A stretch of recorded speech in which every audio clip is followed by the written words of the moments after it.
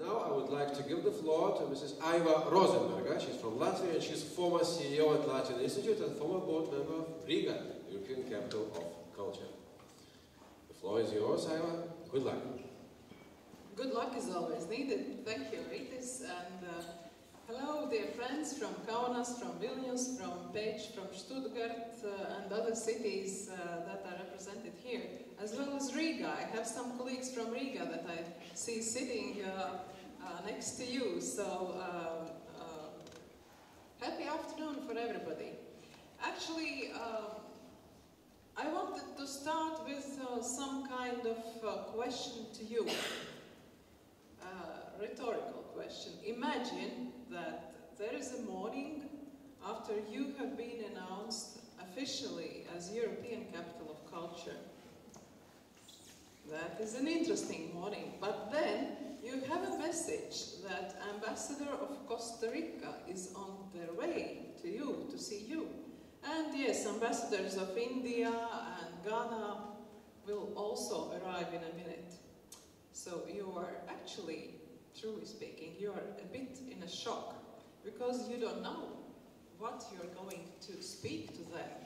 Uh, what will be that experience? What do they want from you? And they come and they politely ask you what you can propose to us. What is that special project that we are going to co-create together? And actually, honestly speaking, again, you don't have such kind of a project. And you know very well that you don't have any finances to do any kind of special project with Ghana, India, or Costa Rica, or some other country you may uh, imagine. Uh, but of course, you have plenty of other projects. So to start with, you understand in the very first morning after you have been announced the European Capital of Culture that you are a diplomat whether you have experience, whether you have education in that field or not, it doesn't matter. Uh, if you are somebody, the citizen in the street, you understand that if you are meeting the ambassador of Ghana in, in, in the street of Kaunas, you are ambassador of Kaunas. You are a diplomat. You have to sell your city in a way. You have to tell about the culture in your city. And what happens next? That's always a good question. Yes, citizens. As we are speaking about the European capital of culture, of course we understand that we are speaking about 500,000 uh, people that are democratic citizens that present democratic values. So it's important to understand that to start with uh, the story about cultural uh, diplomacy, we are speaking about the citizens, the superpower of citizens. And uh, actually we are responsible, we, the European Capital of Culture Office, we are responsible what uh, those citizens are able to tell about our project. So it's a lot, a lot of uh, work behind the scenes to actually uh, get to your citizens, uh, talk to them, engage them, inform them, make together those projects, ideas, and you know it so well. You have done it all. And of course, only secondly, it's about artists and NGOs and other cultural producers that actually implement ideas and implement those projects in life. And um, course, they are so much essential. Yes, and it's about the diplomats that have experience and that have education in the field, how they would present the story about the European capital of culture abroad.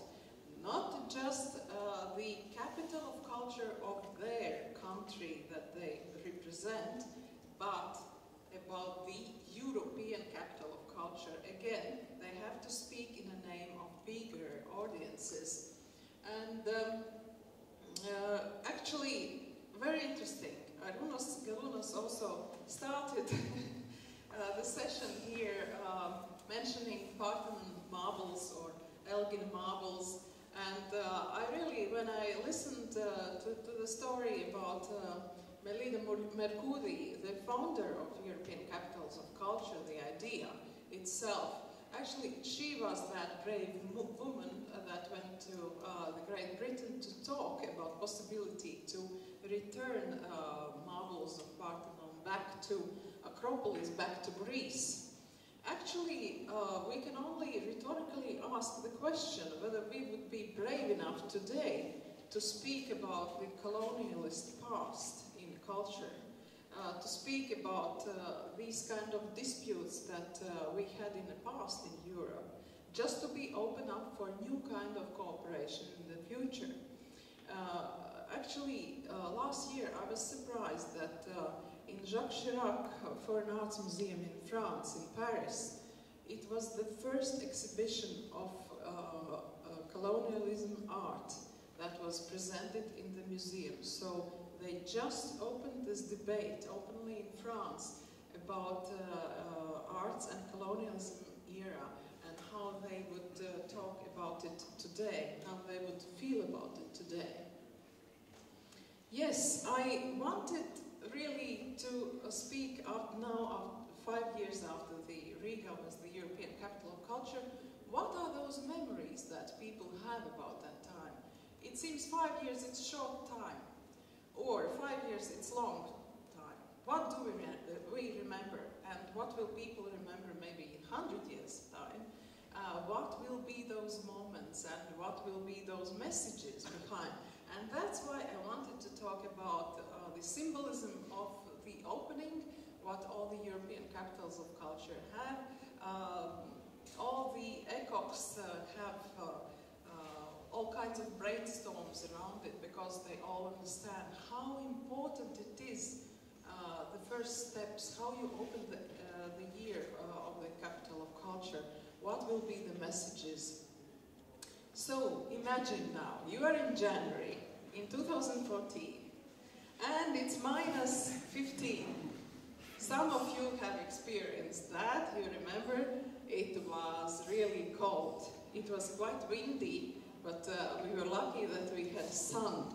So it was really exciting and we had uh, di different kind of events. Uh, a lot of events were held in uh, the Riga Central Market, uh, that is the biggest uh, market in Baltic states. In all those five hangars of the Central Market we had community cultural events going on, but the most, the most symbolic one was the Chain of book lovers. Chain of book lovers, what was that?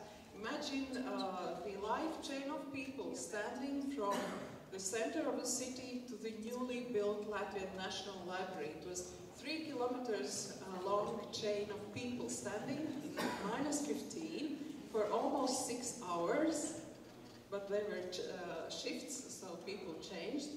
And they were forwarding books from hand to hand all books were wrapped in plastic. Uh, and they were forwarded from that old National Library building to the new building.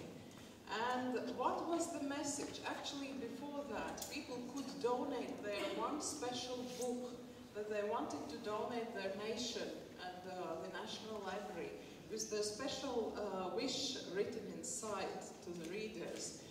And uh, a lot of people did donate the book. A lot of people standed in that live chain of books and they said it feels like awakening, like the third awakening that we have. And as you know, the awakening process was uh, very emotional for all three Baltic countries after regaining the in independence.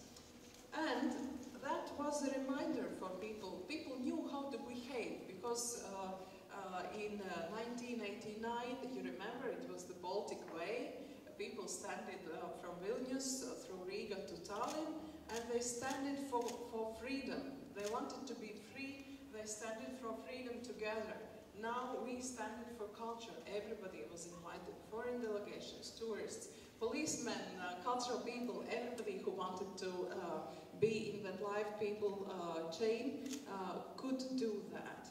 And uh, that was something to be remembered, because last year when we celebrated uh, the 100 years of our statehood, as the other Baltic countries, uh, this legacy is still continuing. everybody who comes to Riga can donate a special book to the Latvian National Library and it always will stay uh, with your signature inside and your best of thoughts uh, that you leave to next generations as a legacy.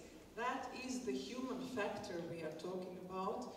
Uh, that is the uh, citizens' uh, superpower that we are talking about in democratic countries that we want to underline uh, when we talk about the European capitals of culture. And that was the new build, newly built uh, Latvian National Library. In the end, I will show you a short video just to have a flavor of that event. Yes, uh, otherwise, of course, uh, people are egoistic. Uh, they do not want just listen to you. They want to talk themselves. They want to ask questions, they want to engage. They don't want uh, all the time just to, to, to, to listen to somebody. And uh, we thought, okay, we need a title of the program that would uh, engage a person into dialogue straight away. So we had a title, Force Majeure. Actually, it's a very actual title even today, because we were telling about the role of culture in uh, the uh, times of catastrophes, in the times of uncertainties around uh, the globe, and uh, what is the role of culture in that regard. And uh, so everybody was asking why you had such kind of title for a cultural program.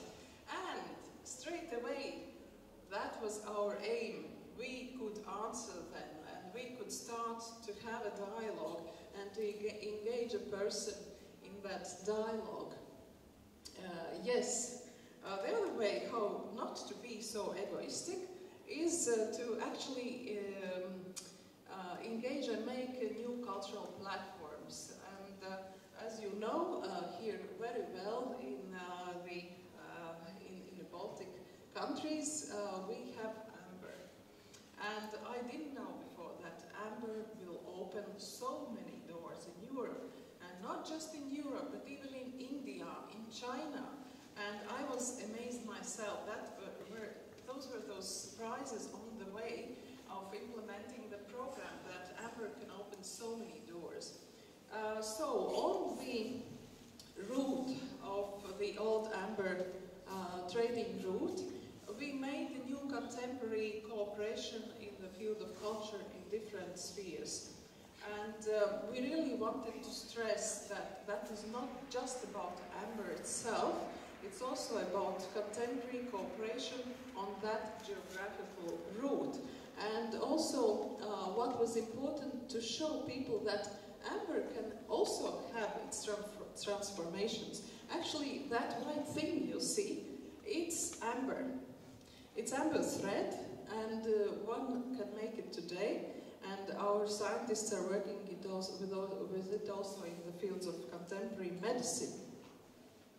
So, uh, here comes the answer for ambassadors of Ghana and Costa Rica and India, because uh, we had on uh, in the program some large-scale events that also uh, that everybody can take part that is open to different kind of cultures and we were so lucky that we won the possibility to organize World Choir Games that had some legacy also years after uh, and last year it was the first Eurovision Choir Song Contest uh, held in Riga and that was actually the legacy of that event.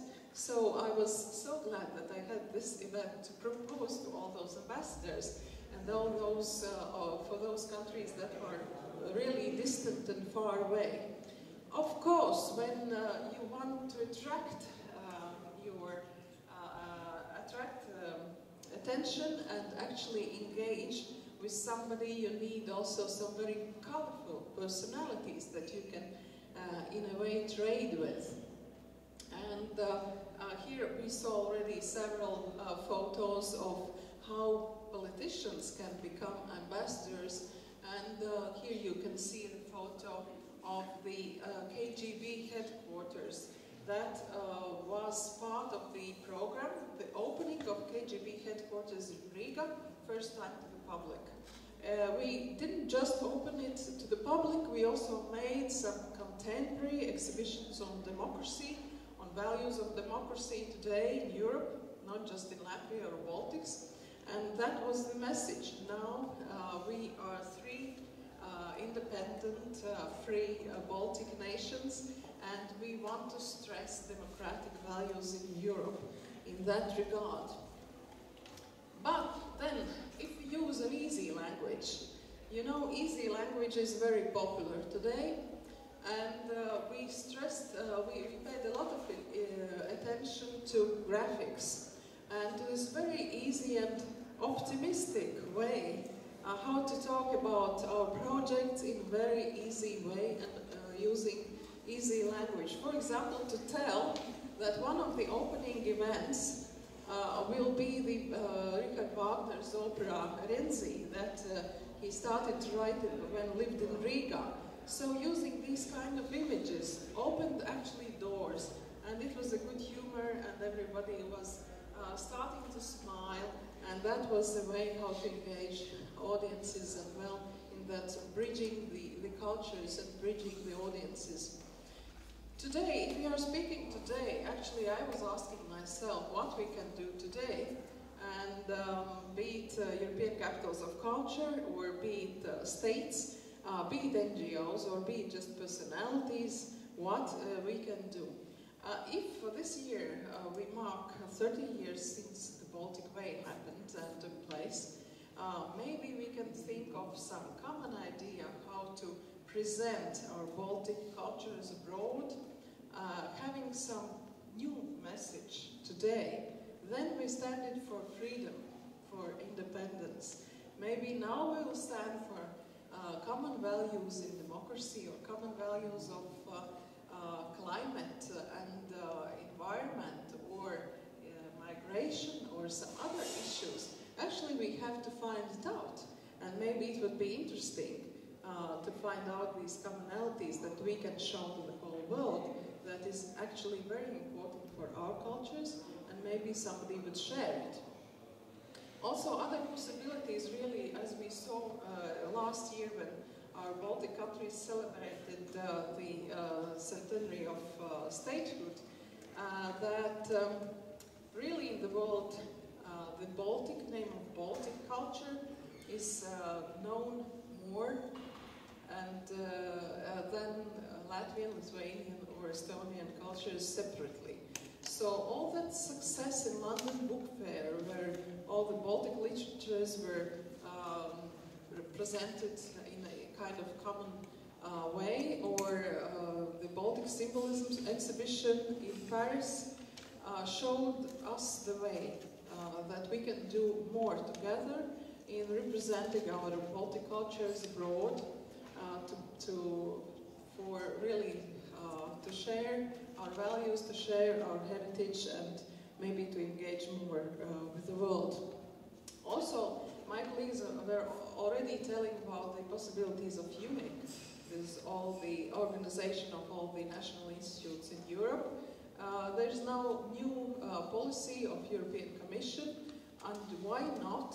Uh, European capitals of culture would be more engaged into translating uh, European messages abroad uh, in the language of arts and culture. So my question, my rhetorical question is really, what I can do to create heritage in Europe today?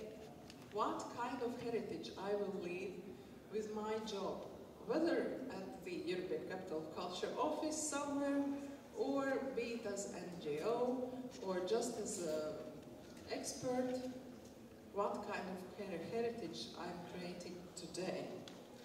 So, you and now, this will be one minute from the opening of Riga 2014, and that's it. Thank you.